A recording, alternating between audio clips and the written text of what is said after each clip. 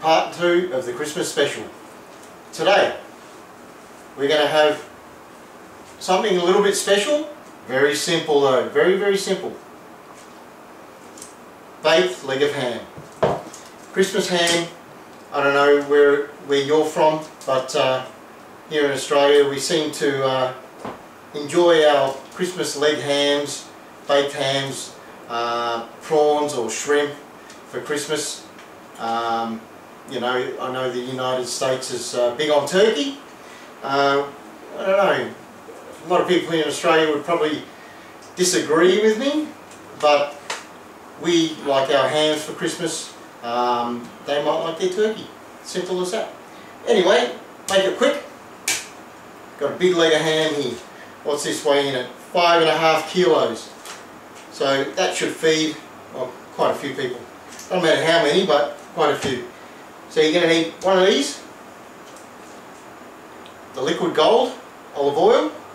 I like extra virgin. It's just easy. It's got the nice flavour. It's not too harsh. Soy sauce. Onion flakes. You can go with these. But if you want to make it easy and quick, go with this. Garlic, crushed garlic in a jar. Easy. What do we got here? Cranberry sauce. Now, I like cranberry sauce with ham. Maple syrup, cover the brand. The good stuff. Something that's a little bit tricky to come across. If you're lucky enough to find it, a little bit of applewood liquid smoke. It's a concentrated smoky flavour in liquid form, just like it says, liquid smoke. Put a little bit of that in there, and um, beautiful. A little bit of background flavour, not too much, it's really strong. Some cloves, fresh orange juice with the pulp. Get it with the pulp. Makes the difference. The stuff that doesn't have the pulp, it's more water than actual juice. Thyme. And a pot. The baking dish. I've just prepared it with some foil. Put a little bit of uh, wax paper in the bottom so that the ham doesn't stick to it. Um, so when you're cutting it and stuff like that, it's not going to peel up all the aluminium foil that's stuck to the bottom of the ham. Nobody wants that. So you put a little bit of baking paper in it, good as gold.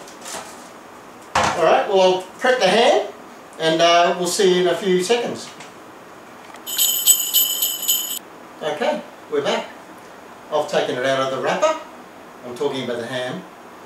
What we're going to do is going to score it, score the skin into a diamond sort of shape pattern.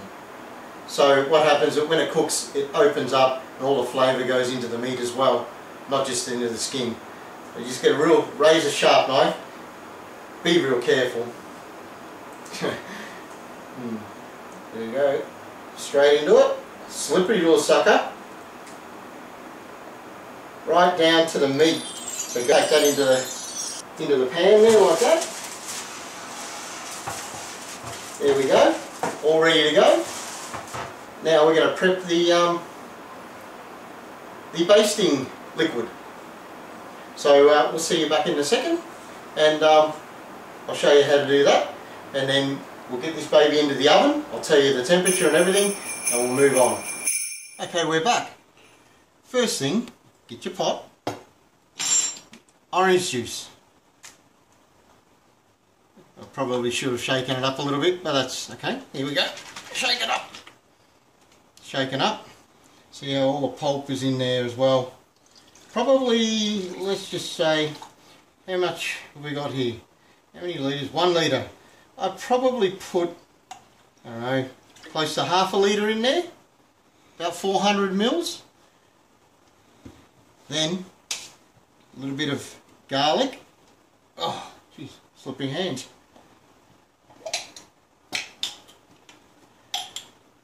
A good heaped tablespoon of garlic in there like that. Or maybe a little bit more. I like garlic. There we go. Put down there like that.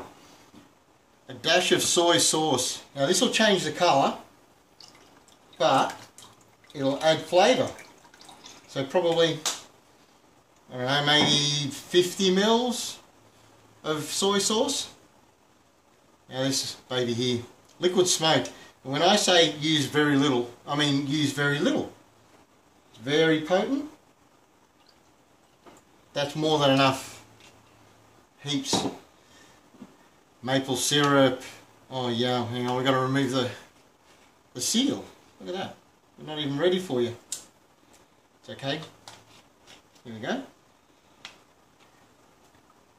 We've got the salty, we've got the sweetness now.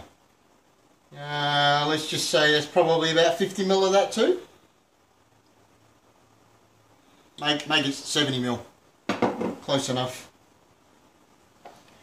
Cloves. Oh, here we go. Half the jar is going to end up in there. We use the back of the spoon here.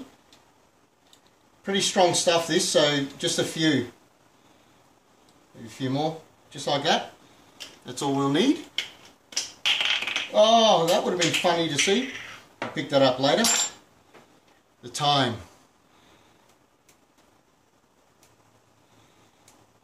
Don't worry about the stalks, just get the leaves in there, just like that. Because the flavours all going to go through the orange juice anyway, and you're going to use this orange juice to baste it. I like to put a little bit of olive oil for a little background flavour. See how it separates? Oil, water, juice. Grind a good grind of pepper. Black stuff, there we go, look at that. I know it looks like a lot of pepper, but it's not. Onion flakes. A little bit of onion flakes. Now, somebody mentioned to me that I didn't mention measurements and stuff like that, but you sort of put the amount of stuff that you want in there. So make everything to taste. If you think that that's going to be enough onion flakes, put that many. If you think you want more cloves, put more cloves. A bit more sweetness, add a bit more maple syrup. A bit more salty, so on, so on, so on. Anyway, what we do then is we take this and we take it onto the uh, stove, we turn it up, get it to, well, not not quite boiling, probably just like a, a very slow simmer, um, and then switch it off straight away. So as soon as it comes to a simmer, switch it off straight away, and then we use that as our basting liquid. We'll see you in a second. Okay guys, look, that's our basting liquid. Orange juice, soy sauce, maple syrup, uh, thyme, cloves, a little bit of liquid smoke. Um, I've sampled it already. It's yum. It's nice. Once that's cooked through the ham, the combination of the ham and the basting liquid, A1 mate. Okay, what we're going to do before we put the basting liquid on, here I've prepared some more cloves. Now these little buggers here gets pushed into the into the skin there because if you like I mean you could do it the easy way and put one in between like that but the longer it's in the oven, the more the uh, skin is going to open up. So those, it'll end up like this.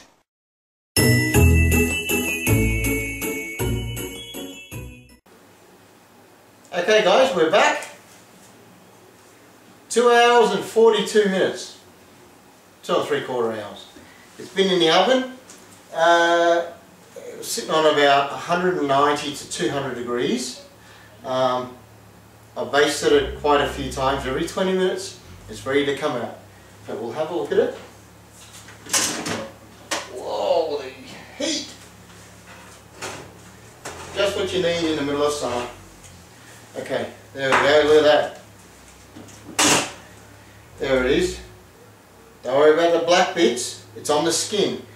But if you have a look, have a look at that. Let me just move this out of the way for you. Have a look at that. That's beautiful. Beautifully cooked. It's been basted regularly. We'll even throw a little bit of base on right now. We've got a little bit left. Not much. Just a little bit on top there. Give it a bit of a shine. We're not going to cover it in glaze and, you know, honey and whatever they use, you know, to glaze it all up.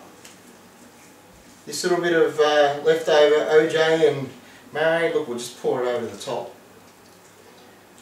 Okay, what I did do was I used some of those juices as well while I was basting because they've got some of the uh, you know the fat that was uh, melting from the heating and the cooking process and whatnot it's all gone in there and it's added extra flavour so that's what we've got so how about we uh, we carve it up now and um, serve ourselves up a little bit and we'll we'll try it and see how we go Okay, here we go. Put the fork in. I don't even know where to put the fork. Put it there. We need a razor sharp knife. We'll cut into there like that. Oh wow, look at that. Look at that. See how it's changed colour? You know, everybody knows what a leg of ham looks like the colour of the leg of ham. Look at that. Don't worry about the black bits because that's just from the caramelization of the uh, maple syrup. Bottom line is if you don't want it, this is what you do. Cut it off. Get rid of it. If you want to eat it, it's there. You know, it's pretty fatty, but it's there. If you don't want it, look, gone.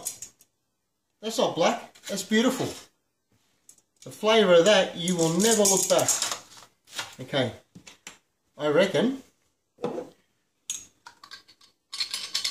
Some of this on here. Whoa, look at that. That's what it's about. We're not hiding anything. A little bit of that cranberry sauce. More like cranberry jelly. And if you really want to, we could use that same spoon. Scoop some of that liquid on there. Look at that. Yeah, I know, it's fatty and it's not healthy and blah, blah. But, how often do you eat it? Christmas only comes around once a year. There's your, your baked ham, your baked Christmas ham. And uh, you can have that. Don't feel guilty about it because uh, you've got, you know, pretty much 11.9 months to start working it off. Let's try it. Okay, this time it's not about presentation, it's about the food. So we've baked a ham for Christmas and uh, I'm pretty sure that everybody you serve that to is going to be, wow, the wow factor is there, the flavour is there, everything that you want is there. The juiciness, the whole lot. So let's try it, eh? Bit of that cranberry sauce there. It's not really sauce, it's more of a jelly, isn't it? Look, look. Sauce doesn't really stick onto a fork like that, does it? Okay, we'll try that. Got a bit of the ham. Scoop a little bit of that jelly on there.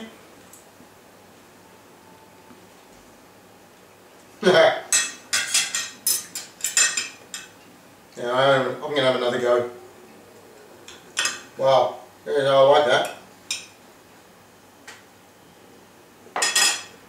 Mmm. Yep.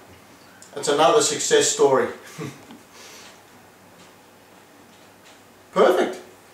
It's got flavour, got that saltiness, the ham normally gives you a, a salty flavour. You can taste the background um, smoky liquid smoke.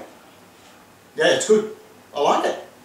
I'm pretty sure that everybody in the family is going to like that. So give that a go. Comment down below if you like the recipe or not.